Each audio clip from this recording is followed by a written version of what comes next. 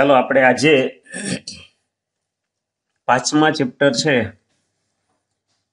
એનો છેલ્લો દાખલો છે આજ ગણી અને પછી નવું ચેપ્ટર સ્ટાર્ટ કરવાનું છે. તો વીસમો દાખલો આપણને એમ કહે છે કે બટાકા ઉપાડવાની હરીફાઈમાં આરંભ આરંભ બિંદુ પર એક ડોલ રાખેલ છે. જોઈ આપણે ડોલ રાખેલી છે. આરંભ બિંદુ એટલે કે અહીંથી દોડવાનું ચાલુ કરવાનું છે. ત્યારબાદ તેનાથી પાંચ મીટર દૂર પ્રથમ બટેકો મૂકેલું છે. જોઈ લ્યો, અહીંથી મેં બતાવેલું છે. અહીંયાથી અહીંયા પેલું બટેકું છે. એ કેટલા મીટર આઘું છે? તો કે પાંચ મીટર. ત્યાર પછી ત્રણ મીટરે એક બટેકો સીધી રેખામાં ગોઠવેલ છે અને આવા દસ બટેકા રેખા ઉપર મૂકેલા. જોઈ લ્યો. એ પછીના જોઈ લે દસ બટેકા મેં નંબર આપ્યા એટલે ખબર પડે દસ બટેકા રાખ્યા છે અને એ બધા તન તન મીટરના અંતરે છે. બરોબર? આપણે કરવાનું શું છે? અહીંથી હરીફાઈમાં ભાગ લ્યો, અહીંથી દોડો. અહીંયા પાંચ મીટર આવો એટલે પેલું બટેકું હાથમાં આવે અને ઉપાડી આમ નાખો. એટલે અહીંયા પહોંચ્યા. તો પાંચ જવાના અને પાંચ આવવાના. દસ મીટર તમે દોડશો ત્યારે પેલું બટેકું ડોલમાં જશે. બરોબર? પછી વરી પાછી સ્ટાર્ટ કરો. તો અહીંયા પહોંચ્યા. એટલે કેટલા થયા? પાંચ ને તને આઠ. તો આઠ જવાના અને આઠ આવવાના. એટલે કે સોળ મીટર તમે દોડો ત્યારે બીજું બટેકું ડોલમાં આવે. પછી વળી પાછા અહીંથી. તો કેટલા? પાંચ ને તને આઠ ને અગિયાર. અગિયાર જવાના ને અગિયાર આવવાના. બાવીસ મીટર દોડશો, ત્યારે ત્રીજું બટેકું બરોબર? તો આવી રીતના પ્રથમ પદ છે ઈ આપણા માટે દસ મીટર થયું. બરોબર? તો આપણે એમ કે છે કે બધા બટેકા ડોલમાં નાખશો, તો હરી- હરીફ છે એને કેટલા મીટર છે એ અંતર કાપ્યું એ આપણે ગોતવાનું છે.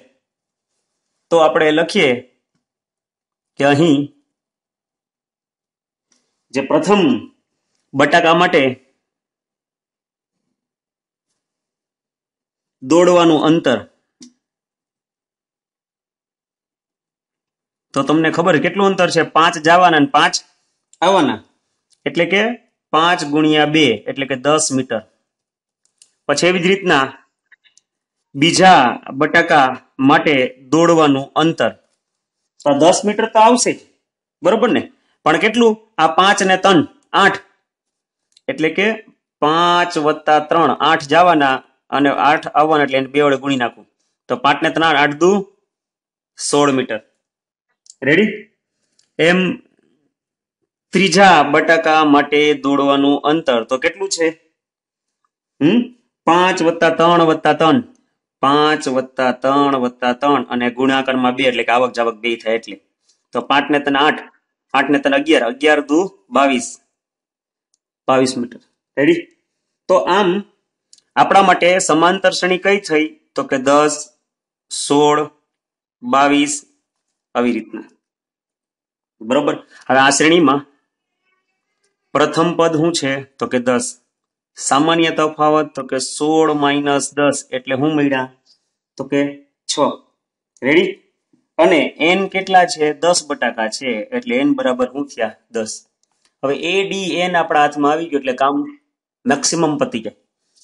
તો સૂત્ર છે આપણે આગળ. એસ એન બરાબર એન ના છેદમાં બે. ટુ એ વત્તા એન માઇનસ એક ઇન્ટુ ડી ખાલી કિંમત મૂકવાની છે તો એન એટલે દસ, એટલે એસ ટેન. દસ ના છેદમાં બે. બે. આ એ એટલે દસ. વત્તા દસ માઇનસ એક અને ડી એટલે શું છે? તો કે છ. દસમાં ભાંગ્યા બે એટલે શું થશે? પાંચ. આ દસ દુ શું થઈ ગયા? તો કે વીસ. દસમાંથી એક એટલે નવ અને નવ છ શું થઈ જશે તો કે ચોપન. ચલો ચોપન વત્તા વીસ, ચોપન, ચોસઠ ને ચિમોતેર. હવે ચિમોતેર ગુણ્યા તમે પાંચ કરશો એટલે જવાબ આવશે ત્રણસો ને સિત્તેર. તો આનો મતલબ એમ થયો કે હરીફને હરીફને ત્રણસો સિત્તેર મીટર અંતર કાપે. આખી હરીફાઈમાં ભાગ લેવું હોય ને તો આટલું અંતર કાપવું પડે. સમજાણું? રેડી તો અહીંયા આપણે આ જે ચેપ્ટર છે એ પૂરું કરીએ છીએ. હવે આપણે નવું ચેપ્ટર સ્ટાર્ટ કરીએ. તો નવું ચેપ્ટર છે એની સમજૂતી આજે આપણે સમજશું. સમજૂતી આવડી જશે એટલે તમને ચેપ્ટર છે એ હાવ ઇઝી લાગશે. તો ચેપ્ટર નંબર સાત યામ ભૂમિતિ બહુ જ આ પણ ઇઝી ચેપ્ટર છે। કેમ? પાંચમા ચેપ્ટરમાં બે સૂત્ર આવડી ગયા એટલે આવડી ગયું. એમ આમાં હાવ ઈઝી છે. તો આ પણ એક સહેલું ચેપ્ટર યામ ભૂમિતિ. પણ થોડુંક આપણે જૂનું પણ યાદ કરી લઈએ. સંખ્યા રેખા તો તમને આવડતી જશે આ જીરો, એક, બે, ત્રણ, ચાર, આ બાજુ તમને ખબર ધન સંખ્યા હોય.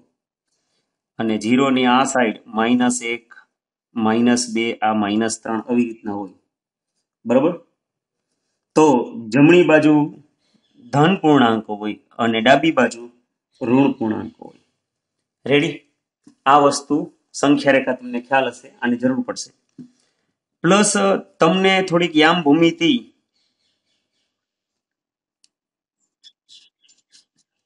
કાર્ટેઝિયન સંજ્ઞા પ્રણાલી પણ તમને આવડતી જશે બરોબર, આપણે આને એક્સ અક્ષ કહી દઈએ છીએ અને એક્સ ડેક્સ કહીએ છીએ. આ વાય અક્ષ અને આ વાય ડેસ બરોબર, આ બાજુ આ એક, બે, ત્રણ, ચાર. આ બાજુ તમને ખબર છે માઇનસ એક માઇનસ બે માઇનસ ત્રણ અને માઇનસ ચાર. ઉપર આપણે વાત કરીએ તો આ એક, બે ત્રણ ચાર એ પ્લસ આવે. અને નીચેની સાઈડમાં વાત કરીએ, તો માઇનસ એક માઇનસ બે માઇનસ ત્રણ અને માઇનસ ચાર. આ વસ્તુ તમને ખ્યાલ હશે. તો આ જે રેખા છે ને ક્ષમ ક્ષિતિજ રેખા કહેવાય. એક્સ અક્ષને ક્ષમ ક્ષિતિજ રેખા કહેવાય. અને જે આ વાય અક્ષ છે, એને શિરોલંબ રેખા કહેવાય. તો સમક્ષિતિજ રેખા અને શિરો શિરોલંબ રેખા એકબીજાને તેમના શૂન્ય બિંદુમાં છે અને શૂન્ય બિંદુ ઉગમ બિંદુ તમે કહી શકો. બરોબર? અને શું કહેવામાં આવે છે? ઉગમ બિંદુ. અને આ ઉગમ બિંદુના યામ કેટલા હોય તો કે ઝીરો ઝીરો. ઉગમ બિંદુના યામ કેટલા હોય તો કે ઝીરો ઝીરો સમજાણું? સમક્ષિતિજ રેખા, આડી રેખા કયો સમક્ષિતિજ રેખા કયો કે એક શખ્સ કયો? બધું એક જ. શિરોલંબ રેખા કયો કે ઊભી રેખા કયો કે વાય અક્ષ કયો? બધું એક જ. બરોબર? હવે આ જે છે, એને પ્રથમ ચરણ કહેવાય. બરોબર? આ પ્રથમ ચરણમાં જો કોઈ બિંદુ આવેલું હોય, અહીંયા. બરોબર? આ બિંદુનું નામ આપું પી તો આ પ્રથમ ચરણની અંદર આપણે બે બાજુ શિરોલંબ રેખા દોરીએ એક્સ અક્ષને છેદતી હોય અને વાય અક્ષને છેદતી હોય. તો જો આ પી બિંદુના યામ શું મળે? પી બિંદુનો એક્સ અક્ષ એક્સ યામ શું થયો? તો કે બે થયો. અને વાય યામ પણ શું થયો? તો કે બે થયો. એટલે કહેવાનો મતલબ એમ છે કે પ્રથમ ચરણની અંદર એક્સ અને વાય યામ બે કેવા હોય પ્લસ જ આવશે. સમજાણું? એમ બીજું ચરણ. તો બીજા ચરણની અંદર કોઈ પણ બિંદુ હોય બરોબર? એનો એક્સ છે એ માઇનસ છે. હું કામ જોઈ લે માઇનસ અને એનો વાય કેવો હોય છે? તો કે પ્લસ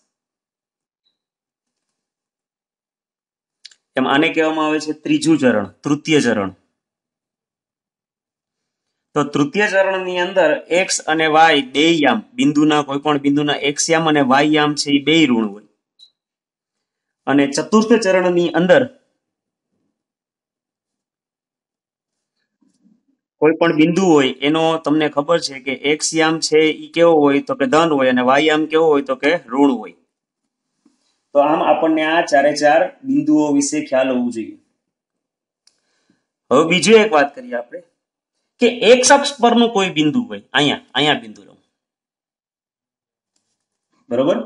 તો એક અક્ષ પરનું કોઈ બિંદુ હોય તો એનો વાયામ છે હંમેશા શૂન્ય હોય. સમજાણું? એક અક્ષ પરનું બિંદુ હોય એનો આ બિંદુની વાત કરીએ આપણે. ક્યુ તો એનો વાયામ કેવો હોય તો કે શૂન્ય હોય. અને વાય અક્ષ પરનું કોઈ બિંદુ હોય. બરાબર? તો એનો એક્સયામ છે એ કેવો હોય તો કે ઝીરો હોય. સમજાણું? રેડી આગળ સમજૂતી જાય આપણે. સમજૂતી સરખી રીતના સમજી લ્યો તો ચેપ્ટર છે એ ઈઝી થઈ જાય. આગળ વાત કરીએ આપણે. કે આવી રીતના આપણી આગળ કોઈ દ્વિચલ સુરેખ સમીકરણ હોય, એ એક્સ વત્તા બી એક્સ વત્તા સી બરાબર સી જીરો આ છે ઈ દ્વિચલ સુરેખ સમીકરણ છે. બરોબર? આ દ્વિચલ સુરેખ સમીકરણ છે, એનો તમે આલેખ દોરશો તો એ આલેખ છે ને, આમાં થોડાક આલેખની પણ જરૂર પડશે. બરોબર એ એક સીધી રેખા મળશે. પછી ગમે મળશે હું આપણને? આનો આલેખ આવી સીધી રેખા મળે. તો એ એક્સ વત્તા બીવાય વત્તા સી ઇક્વલ ટુ ઝીરો સ્વરૂપના દ્વિચલ સુરેખ સમીકરણનું આલેખ નિરૂપણ કરતા આપણને એક સીધી રેખા પ્રાપ્ત થશે. પછી આવી રીતના હું કોઈ પણ લખું, ત્રણ એક્સ માઇનસ બે વાય માઇનસ છ બરાબર ઝીરો. બરાબર? ગમે લખો, આપણે કઈ ફરક પડે નહીં. પણ આનો જવાબ આવી સીધી રેખા મળે. સેમ એવી જ રીતના આપણે આવી રીતના એ એક્સ વર્ગ વત્તા બી એક્સ વત્તા સી બરોબર? આનો આલેખ છે ઈ પર્વલય મળે. પર્વલય એટલે આ ટાઈપનો જે આકાર છે, એને પરવલય આકાર કહેવાય. પછી આ આમ સીધો લીધો, આમ ઉથમાં પણ લઈ ગમે હાલે. આ ટૂંકમાં આમ ગમે સાઈડ લ્યો એ કાંઈ ફરક ન પડે, પણ આ આકારને કયો આકાર કહેવામાં આવે છે? પર્વલય આકાર કહેવાય. આટલા દોર્યા તો ખાલી કહેવા માટે ગમે માલે તો પર્વલય આકાર. રેડી તો આ યામ ભૂમિતિ છે એ આપણને બીજગણિતનો ઉપયોગ કરીને ભૂમિતિનો અભ્યાસ કરવા અને ભૂમિતિની મદદથી બીજગણિત સમજવામાં મદદરૂપ થાય. તો બીજગણિત અને ભૂમિતિ એકબીજાને મદદરૂપ થાય સમજવા માટે.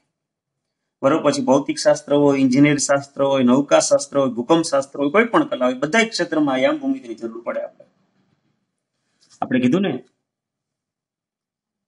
કે એક્સ અક્ષ હોય, ઈ એક્સ અક્ષ પરનું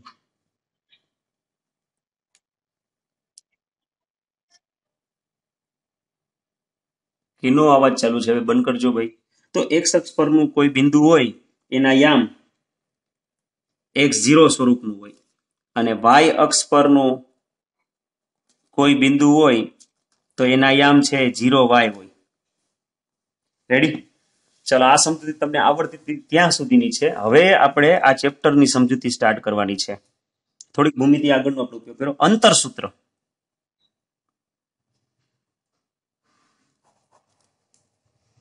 તો પેલા આપણે સંખ્યા રેખા પર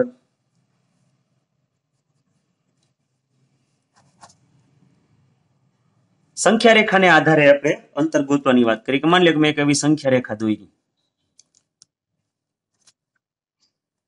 બરોબર? આવી રીતના જીરો, એક, બે આવી રીતના.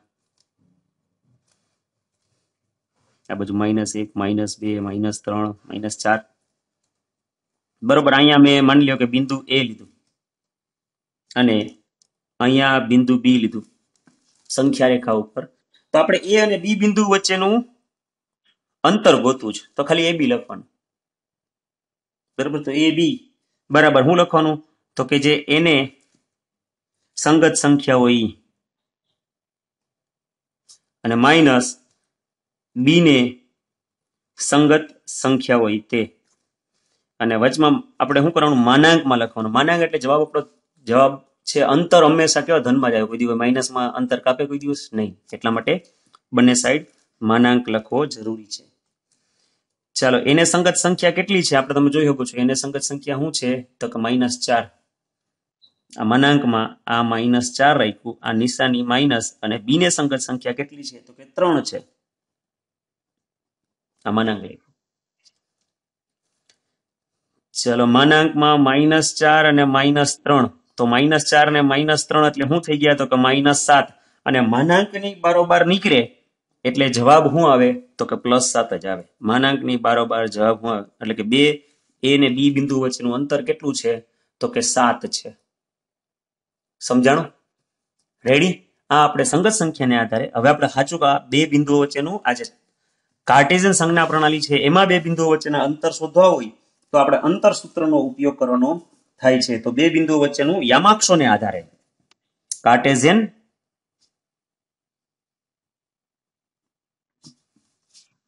યામાક્ષોને આધારે બે બિંદુઓ વચ્ચેનું અંતર શોધવાનું છે આપણે. બરોબર? તો માની લો કે આપણે એ બિંદુ કીધું કે જેના એક્સ યામ છે, એ એક્સ વન છે અને વાય યામ છે, એ વાય વન છે. અને બી બિંદુ લીધું કે જેનો એક્સ યામ છે એ એક્સ ટુ છે અને વાય યામ છે એ વાય ટુ છે. આવા બે બિંદુઓ લીધા. હવે આ બે બિંદુઓ વચ્ચેનું અંતર શોધવું હોય તો એનું જે અંતર સૂત્ર છે એ આવું છે કે એ બી વચ્ચેનું અંતર આ સૂત્ર આવડી ગયું એટલે આપણને સાત પોઈન્ટ એક ચેપ્ટર આવડી. સમજાણું? તો એ બિંદુ છે એ એક્સ વન, વાય વન અને બી બિંદુના યામ છે એક્સ ટુ, વાય ટુ. તો એ બી બરાબર શું થશે? આ X one minus X two એનો સ્ક્વેર. આ એક્સ વન, એ બિંદુનો એક્સ વન અને બી બિંદુનો એક્સ યામ. બેના યામની બાદબાકીનો વર્ગ. વત્તા Y one minus Y two એનો પણ સ્ક્વેર. બસ આ એક સૂત્ર આવડી ગયું એટલે આપને આખું ચેપ્ટર આવડી જશે.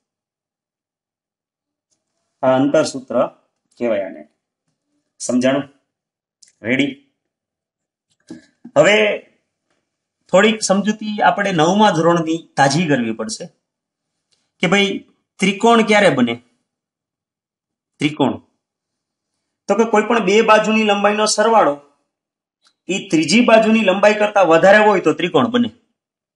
કોઈ પણ બે બાજુનો સરવાળો કે ભાઈ એવી રીતના લખું એ બી વત્તા બીસી બે બાજુનો સરવાળો છે. એ ત્રીજી બાજુની લંબાઈ કરતા કેવો હોય? વધારે હોય. આ એબી બીસી એ એસી કરતા કેવો આવે? જવાબ મોટો આવે તો એ ત્રિકોણ બને ત્યારે. સમજાણું? આ બધી વસ્તુ છે એ દાખલાઓમાં કામ લાગશે. હજી આપણે એક નવમા ધોરણનું થોડુંક યાદ કરવાનું છે. ચતુષ્કોણના ગુણધર્મો.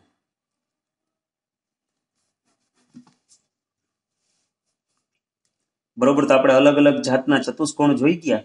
સમાંતર બાજુ ચતુષ્કોણ સમબાજુ ચતુષ્કોણ, લંબચોરસ, ચોરસ, બરોબર, આવી બધી ચર્ચા કરી ગયા છે. તો એની સમજૂતી આપણને આવડતી છે એટલે આ ચેપ્ટરના દાખલા કામ પતી જશે. એ બધા જ આજે આજે હું તમને ગુણધર્મો લખાવું છું. એ ગુણધર્મો અને એક આ સૂત્ર. એટલે આપણું ચેપ્ટર પતી જશે. એટલે આ ગુણધર્મ થોડાક પાકા કરી લ્યો. અને સામે આપણે આ એક સૂત્ર આવડવું જોઈએ. સમજાણું?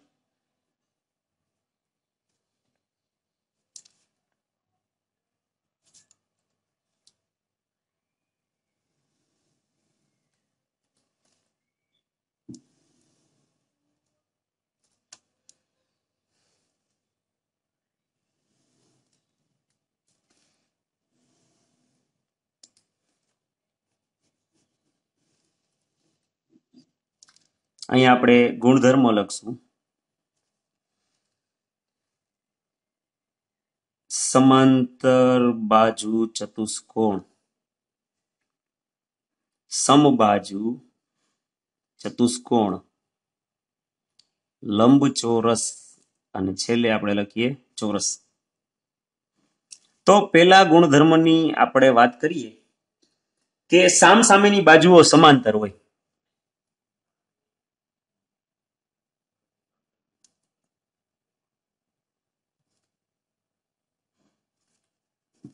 બરોબર? સામ સામેની બાજુઓ સમાંતર હોય. હવે સામ સામેની બાજુઓ સમાન હોય.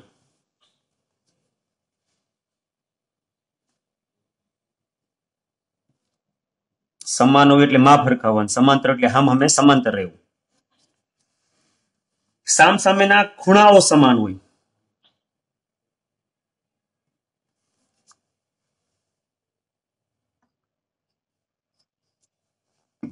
સામ સામેના ખૂણા કેવા હોવા જોઈએ?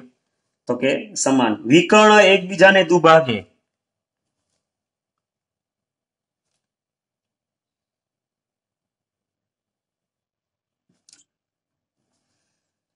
બધી બાજુઓ સમાન.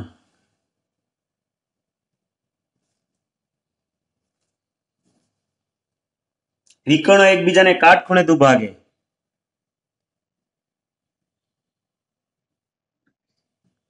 કાટખૂણે દુભાગે. બધા ખૂણા સમાન.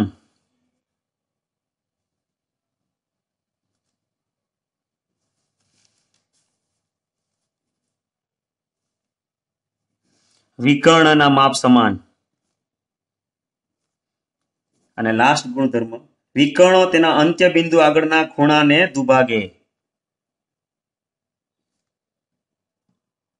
અંત્ય બિંદુ આગળના ખૂણાને દુભાગે. બરોબર? તો જો, સમાંતર બાજુ ચતુષ્કોણની આપણે ચર્ચા કરીએ આવી રીતના.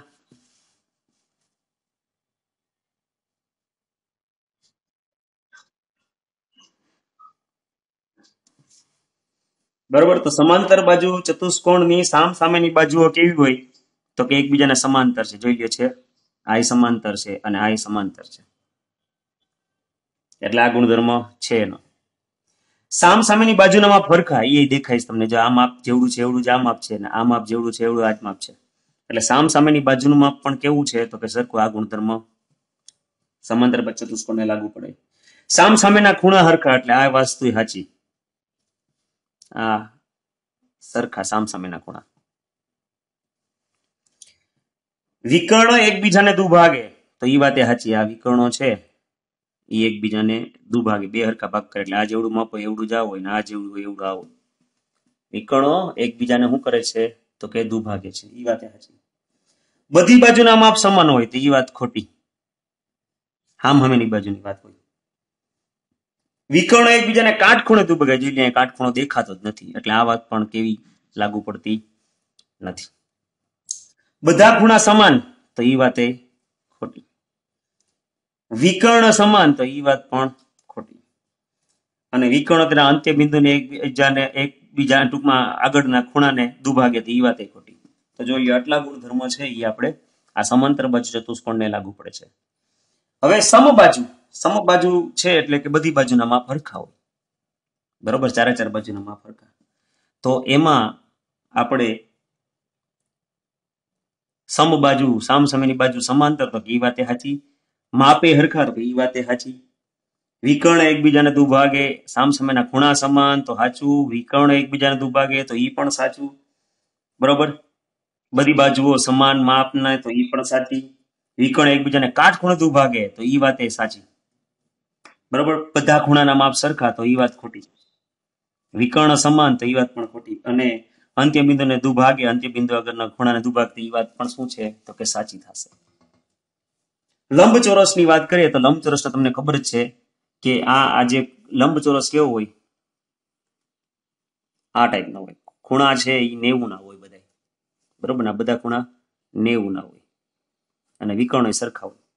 તો લંબચોરસની વાત કરીએ તો આ ચારે ચાર વાત પેલી સાચી.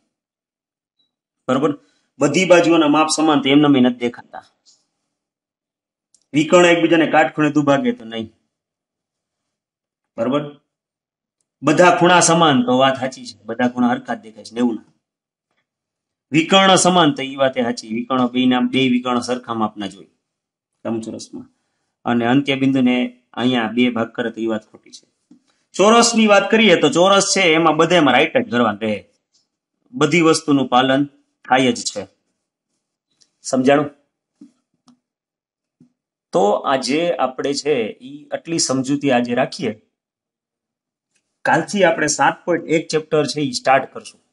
આ ગુણધર્મ પાકા કરી લેજો, કારણ કે આ ગુણધર્મ ને એક આંતરસૂત્ર આવડતું હશે, એટલે આપણું કામ પૂરું થઈ ગયું. બરોબર? ઓલું આગળનું હતું એ સમજૂતી હતી તો શું છે તમને થોડુંક જૂનું યાદ કરાવ્યું બરાબર? રેડી તો અહીંયા સુધી આપણે રાખીએ.